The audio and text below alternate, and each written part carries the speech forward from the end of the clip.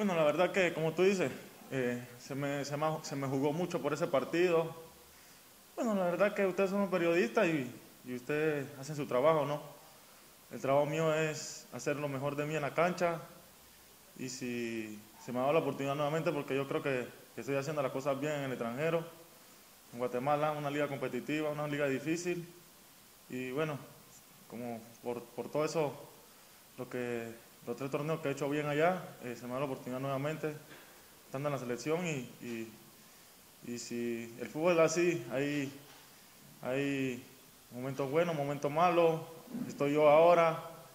y yo siempre, si yo voy a dar lo mejor de mí en el partido para que todo salga bien y si, si el profe me sigue tomando en cuenta, eh, vendré acá con la selección porque es,